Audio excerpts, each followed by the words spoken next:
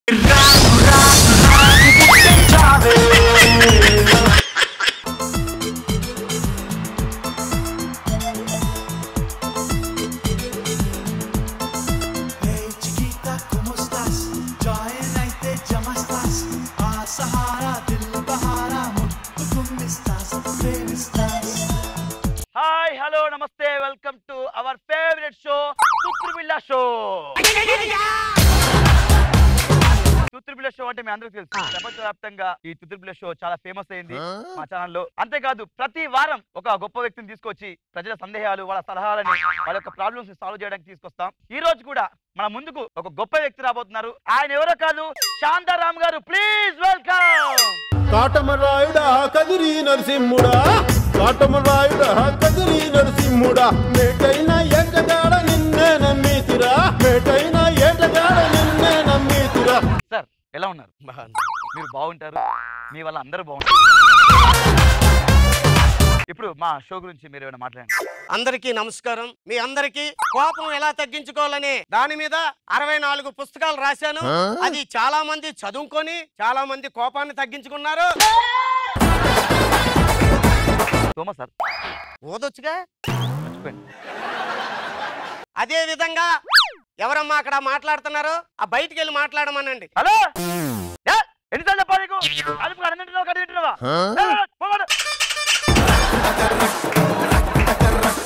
అదే విధంగా కోపం మనిషికి ఎంత చెడు చేస్తదంటే? ఆ, ఓకే ఓకే. రెడీ రెడీయా? Ready sir. స్టార్ట్ చేద్దామా? ఏంటి? ప్రోగ్రామ్. ఇప్పుడు దాకా చేసింది? ప్రాక్టీస్ చేసుకోలేదు మీరు ప్రాక్టీస్ చేసుకోలేదు మీరు. రిహార్సల్ ఏంటి? నాకు రిహార్సల్ ఏంటి? నాకు తెలియక అడుగుతున్నాను నువ్వేం మాట్లాడుతున్నావు అసలనే? నీకు బుద్ధి ఉందా అసలనే? శాంతారాం గారు మీరు కోపడుతున్నారు అదే విధంగా మనిషికి కోపం ఎంత చెడు చేస్తాడంటే కోపం ఎలా తగ్గించుకోవాలో ఇప్పుడు మీకు నేను చెప్పబోతున్నాను. నాకు చిన్న డౌట్ చెప్పే ముందు. ఏంటమ్మా? మొన్న మీరు జూబ్లీ హిల్స్ నుంచి బంజారా హిల్స్ వెళ్తున్నప్పుడు ట్రాఫిక్ జామ్ అయిపోతే మీ కార్ స్టక్ అయిపోయిందట. అవును. స్టక్ అయిపోతే మీరు కార్ తినేందుకు పోలీసులు వచ్చి ఎడాపెడా తిట్టేసి మీకు యాభై రూపాయలు ఫైన్ చేశారు ఎవరు చెప్పాడు నీకు? ఎవరు చెప్పాడు? శాంతారాం గారు మీరు కోపడుతున్నారు. మీకు కోపం ఎలా కంట్రోల్ చేసుకోవాలో సార్ ఇంకో చిన్న డౌట్ ఏంటిది? అదే రోజు రాత్రి మీరు పన్నెండు గంటలకు చాలా ఎక్కువ తాగేసి డ్రంక్ డ్రైవ్ చేస్తూ మీ పక్కన అమ్మాయిని వేసుకొని తిరుగుతారు. ఎవరు చెప్పాను నీకు? ఎవరు చెప్పాడు అంటున్నాను. ఎవరు చెప్పాడు? ఓవర్ యాక్షన్ చేయకరా. అదే విధంగా కోపాన్ని ఎలా కంట్రోల్ చేసుకోవాలో సార్. మీ మీరు కూర్చోండి. శాంతారాం గారు మన యొక్క తుత్తురు బిళ్ళ ప్రోగ్రామ్కి వాళ్ళ కోపం తగ్గించుకోవడానికి మీరు ముందుకు వచ్చారు ముందుగా ఇతని పేరు నాగి అండి మీరు ఎంత ప్రాబ్లం ఏంటో ముందు నువ్వు ఒకటి నేర్చుకోవాలమ్మా. పెద్దల దగ్గరకు వచ్చేటప్పుడు నమస్కారం పెట్టడం నేర్చుకోవాలి. నమస్కారం అండి. అతనికి కాదు నాకు పెట్టాలి నాకు పెట్టాలి. జుట్టు పెంచు.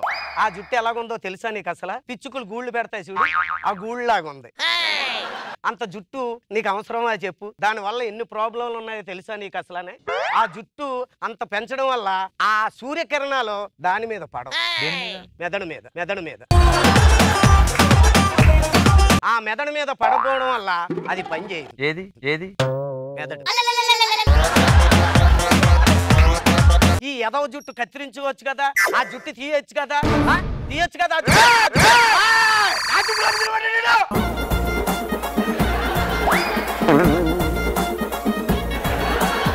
నువ్వు మాట్లాడవా? ఎవరిని పడితే ప్రోగ్రామ్ తీసుకొస్తావా?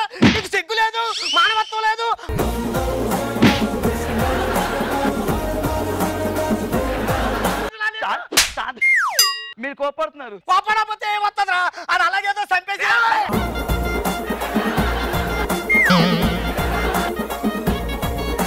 రే నువ్వు ఇలా రారా? యాంకర్ అయినా నువ్వు? నువ్వే నువ్వు యాంకర్వా ఎవడైనా ఎవరు తీసుకొచ్చారయ్యా? ఎవరు అతను అసలనే? కోపిస్తాడు. ఏంటి ఇప్పుడు ఏంటి చెప్పు. అయిపోయిందా ప్రోగ్రాం ఉందా? మళ్ళీ ఏదో అన్నాను ఏంటి ఏమన్నా ఏమంటే ఏం ఊరుకుంటా నువ్వు? శాంతారాం గారు. నువ్వు శాంతారాం గారు శాంతారాం ఏయ్, ఓగో. Relax relax.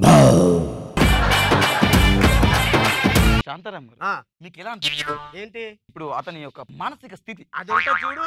మెదడు. దాని కిందకి జారింది.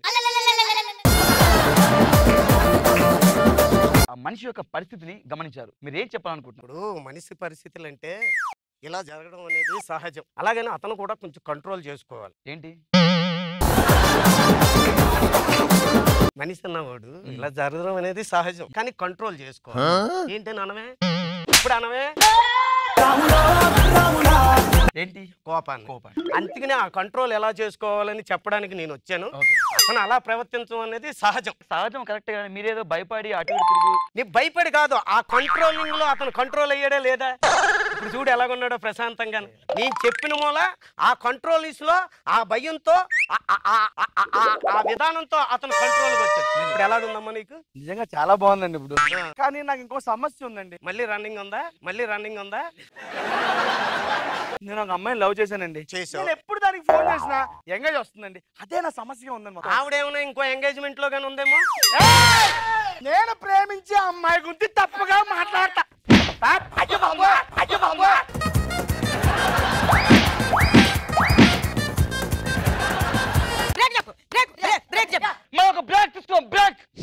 ఎస్ గారు మనం అలాగా రేటింగ్ పెంచడం కోసం చేయలేదు అనుకో ఇప్పుడు అతను కూడా బాగా చేస్తున్నాడు పర్ఫార్మెన్స్ జూనియర్ ఆర్టిస్ట్ నువ్వు? లేదండి? ఆర్టిస్ట్ అంతా జూనియర్ అండి. మరి నీకు ఎందుకు సినిమాలో వేషాలు వస్తలేదు? లేదు సార్ ట్రై చేస్తున్నాను. బాగానే ఉన్నావే? బాగా తగిలినట్టున్నాయి మీకు. బాగా తగిలినట్టున్నాయి మీకు. సార్ మీరు వంద రూపాయలు పర్ఫార్మెన్స్ అడిగారు సార్. నేను వెయ్యి రూపాయలు పర్ఫార్మెన్స్ ఇచ్చాను. ఎంత ఇచ్చావు పర్ఫార్మెన్స్ వెయ్యి రూపాయలు. వెయ్యి పర్ఫార్మెన్స్ ఇవ్వడం ఇక్కడ లక్ష రూపాయలు ఆర్టిస్ట్ తెలుసా? ఓ రోజుకి నాకు ఎంత ఇస్తారో తెలుసా? నువ్వు మళ్ళీ నువ్వు స్కిట్లో లాగా కుర్చీలు నీకేం తెలుసని? నువ్వు ఆపరాలు కృష్ణారానగర్లో తిరిగా ముందు. శాంతారాం గారు చెప్పండి. ఒక మనిషి యొక్క మానస్థితిని మీరు గమనించారు ఒక్క నిమిషం. టచ్ ఉన్నాడు బాబు నీకేం తెలుసు నా రే మీరు భోజనం మీకు ఎక్కడ పెడతారు తెలిసిన బయట ప్లేట్లో పెడతారు నాకు టేబుల్ వేసి క్లాత్ వేసి వాటర్ బాటిల్ పెట్టి ఒకే ఒకే తిండిగా ఇద్దరికి పెట్టేది ఒకే తిండా ఒకే తిండా బంగా backup చెప్పు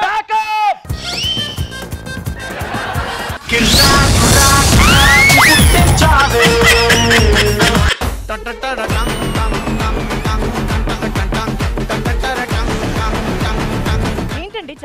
పెట్టుకుంటూ వచ్చారు. మధ్యాహ్నం మా బాసు లేడు వచ్చేస్తున్నాను ఇందాక ట్విట్టర్లో పెట్టాను కదా చూడలేదా నువ్వు? ట్విట్టర్లో పెట్టారా? ఇది చూడదని ఇన్స్టాలో కూడా పెట్టండి ఆన్లైన్లో ఆ రెండు ఎక్కడ మిస్ అయిపోతామని వాట్సాప్లో కూడా పెట్టాను అది కూడా చూడలేదా?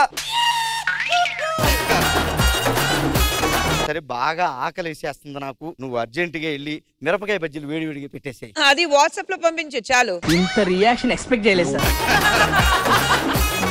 అమ్మా అమ్మా నీ పసివాణమ్మా ఏంటన్నా అది?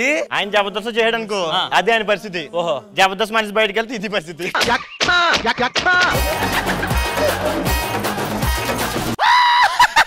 ఇలాగ ఉదయాన్నే లేచి నవ్వితే మనకి షుగర్ రాదు. కానీ నాకు ఈ విషయం షుగర్ వచ్చిన తర్వాత తెలిసింది. మిస్టర్ శంకర్ ప్రసాద్ హాస్యంలో వందకి వంద. హాస్యంలో వందకు వంద తెచ్చుకుని నువ్వు ఇక్కడ ఎందుకు ఎనిమిది ఎనిమిది వస్తుంది మనకి? ఆ language మర్చు say in English lover not a curd rice Tanmay asking lassi ఓ పెరుగన్నం లేక లవర్ ఏడుస్తుంటే తన్మయ్య వచ్చి లస్సీ అడిగింది. ఖుష్బు గారు మీరు ఇడ్లీ అడిగారు కదా ఇగోండి. ఇడ్లీ అంటే తెల్లగా ఉండాలి కదా అదేనే బ్రౌన్గా కనిపిస్తుంది. అన్ని మీ మనసులో తెల్లగా ఉండవు కదా ఇప్పుడే వచ్చారా? ఎవరండి ఇవిడే? మన రెస్టారెంట్ ఏంటి? Family restaurant. అలాగే మా ఫ్యామిలీ సెట్ చేస్తాం ఆ అట్మాస్ఫియర్ క్రియేట్ చేస్తాం టిఫిన్ వచ్చే వరకు. అవునా? మీరు క్యాంప్కి వెళ్ళిపోయారు. పెళ్ళం చేతిలో చిల్లి గవ్వలేదు. ఏంటండి డబ్బులు అడుగుతుందా? మీ ఫ్యామిలీ నన్ను అడుగుతారేంటి? అమ్మగారు నాన్నగారు ఎలా ఉన్నారు? అందరూ బాగానే ఉన్నారు. మీరు ఎలా ఉన్నారు? మా వాళ్ళ గురించి నీకెందుకులే? పిల్లలు ఎప్పుడు పిల్లలు ఎప్పుడు అని అడుగుతున్నారు. మీరేమో క్యాంపుల మీద క్యాంపులు వెళ్తున్నారు. మన ఇంట్లో ల్యాంప్ పారిపోయేది ఎవరు? నేను వచ్చాను కదా నేను ఆర్పుతా నేను ఆర్పుతా. డింగి చెక్క డింగి చెక్క.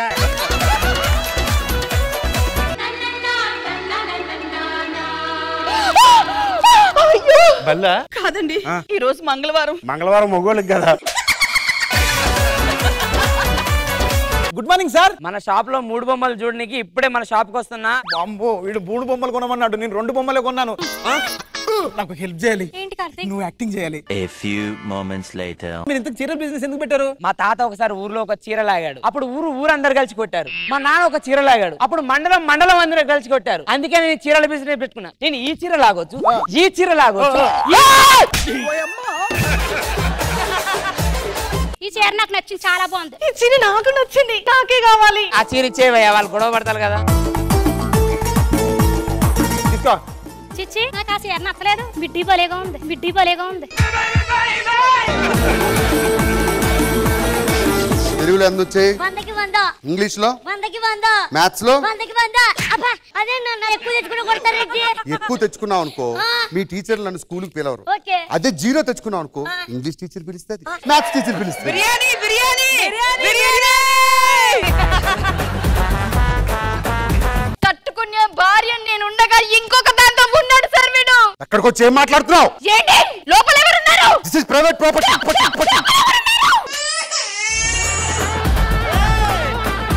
పో పోయేది? ఓ బయటికి అదెవరు? This is my private private అదెవరు?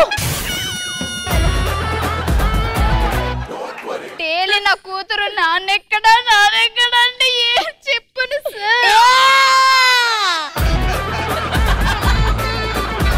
ఆఫీస్కి వెళ్ళగానే ఇంట్లో సౌండ్లు వస్తున్నాయి అంటే ఏంటి? అవునండి. ఆ. గిన్నెలు దానికి దానికే పడిపోతున్నాయి. లైట్లు జుమ్ జుమ్ జుమ్ అని వెలుగుతున్నాయి. మన ఇంట్లో ఏదో ఆత్మ ఉందని భయం వేస్తుందండి. హైదరాబాద్లో ఉన్న వాళ్ళందరూ అయిపోయారు? ఆత్మల దగ్గరికి వెళ్ళిపోయా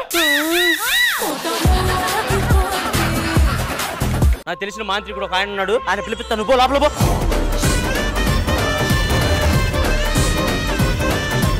నమస్తే సార్. చెప్పు. పదింటికే వస్తానన్నారు. నేను పదికి రాను. మరి? పదకొండుకే వస్తా. పదకొండుకే వస్తా. బ్రదర్స్ కథనా కామెడీ షో. ప్రతి శుక్రవారం మరియు శనివారం రాత్రి తొమ్మిది గంటల ముప్పై నిమిషాలకి మీ ఈటీవీలో